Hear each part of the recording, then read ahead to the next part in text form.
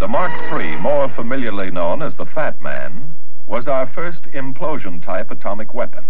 Its prototype was first tested at Alamogordo, New Mexico in 1945, and later a Mark III was used operationally against the Japanese city of Nagasaki.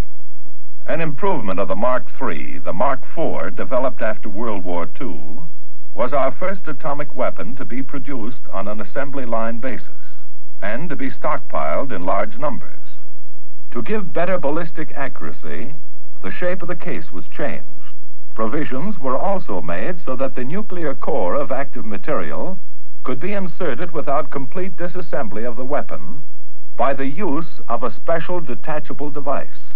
This gave us the capability of in-flight insertion of the active material. The firing system, commonly referred to as the X unit, and the fusing system were also improved and mounted on a cartridge to facilitate checking and testing. The Mark VI looks almost identical to the Mark IV, from which it was developed. But inside the 61 by 128 inch aluminum case, many changes have been made.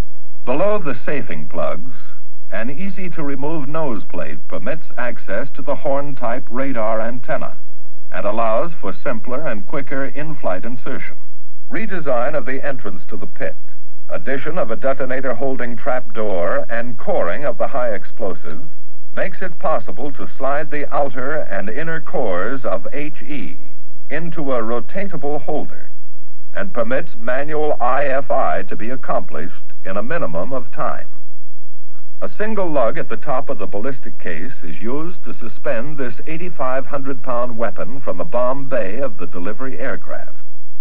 And extending through the skin are the arming wires that operate the pull-out switches upon release.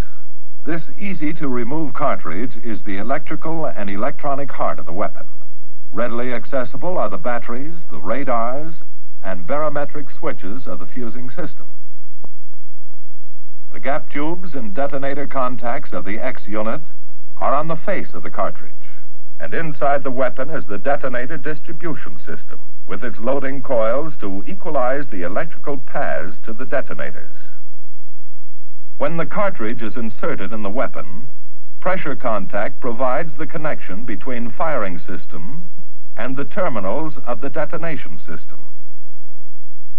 In contrast with the Mark VI, which requires manual insertion of the nuclear material, the Mark V has a built-in mechanism to perform the insertion of the capsule and the cored high explosive. Thus, by a switch on his in-flight control box, the bomb commander of the delivery aircraft can automatically perform a nuclear insertion or extraction at any time. After the cartridge has been checked and installed, the tail section is attached completing the assembly of this internally carried weapon. The need for a tactical weapon led to the development of the Mark 7.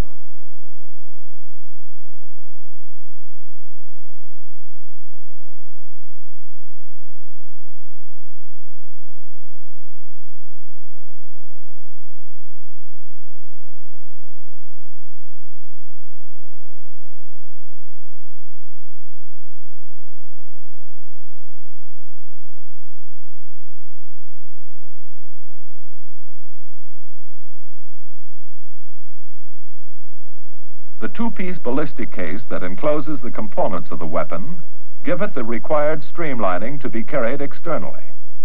The Mark 12 weapon, also designed to be carried externally, is even lighter and smaller than the Mark 7. Our above-ground capabilities with the implosion-type weapon are numerous. The Mark 9 artillery-fired atomic projectile is for use in the Army's 280 millimeter gun.